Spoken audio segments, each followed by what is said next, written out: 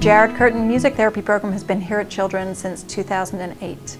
Our music therapists are qualified and trained professionals who specialize in medical music therapy in pediatrics. We serve patients throughout the hospital from premature babies in NICU through to teens going through cancer treatment or rehabilitation. The music therapy program has been a great addition to Children's Hospital Oakland. The families love it, the staff loves it, and the patients in particular love it. It's done great things for many of the patients that I've worked with and their families. Um, it's really drawn a lot of kids out.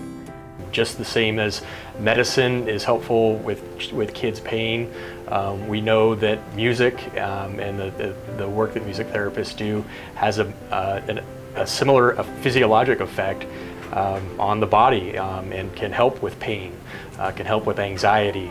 A typical music therapy session uses live music, engaging a child in making their own music, either improvising or creating, writing their own songs.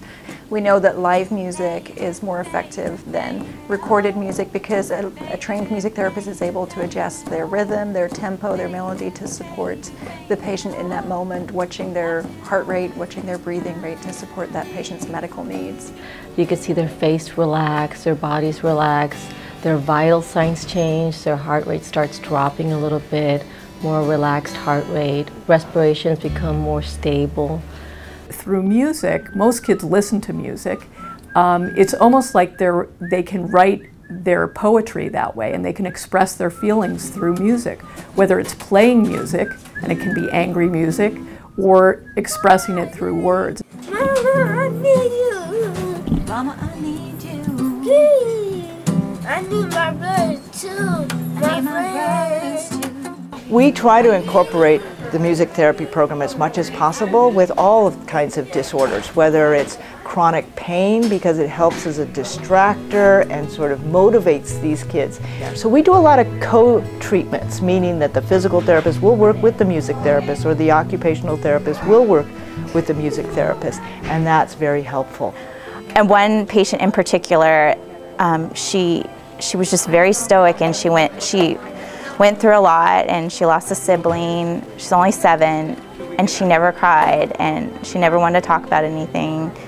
And it was only through music therapy that she really, I got to see her, her emotional side. Unfortunately, uh, sick children um, have a lot done to them um, and they are not in control of a lot of things that, that happen in the hospital, whether it's putting in IVs, whether it's going into the, the MRI scanner. Um, these are things that are scary and, and, it's completely out of their control. And so one thing I think that music therapy can do is uh, get their mind off of all this stuff that's being done to them. Um, and it's something that's being done with them. I do have another patient who is a teenager who's a very anxious young man.